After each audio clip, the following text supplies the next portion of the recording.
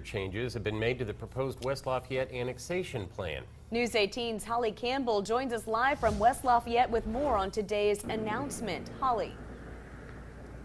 Jeff, Gina, seven residential neighborhoods originally included in the annexation plan have been removed. Mayor John Dennis says the new plan focuses on economic development.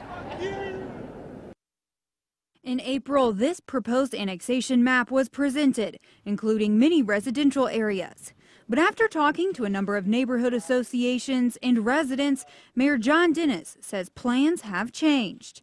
Dennis says from the beginning he wanted the voice of the people living in the areas considered for annexation to be heard. And they've been very, very vocal about how it's just not what they want right now. And again, I think I need to stress that. You know, this is going to be our annexation proposal for now. You know, I think that it's incumbent on us to be able to prove that, and I think one of the gentlemen in the audience at the council meeting said that we can be a good neighbor. The new plan cuts seven neighborhoods from the annexation the Greens, Green Meadows, Huntington Farms, McQueen Estates, the Orchards, Sherwood Forest, and Wake Robin.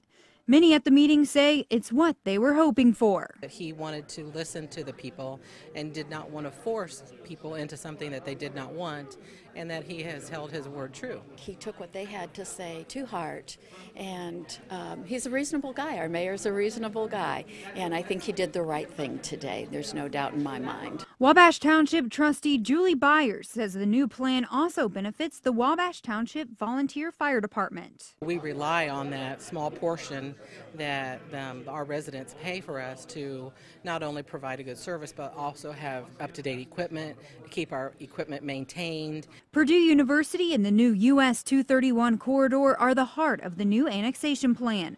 Dennis says focusing in on those two areas will help drive economic development. Now we're looking at something that's going to be practical, it's going to be leaner, it's going to be more directed towards economic development, and it's going to be a great opportunity for us, for Purdue University, and for all of our future. Sugar Hill subdivision is still included in the annexation. Dennis says that's because it's surrounded by Purdue University.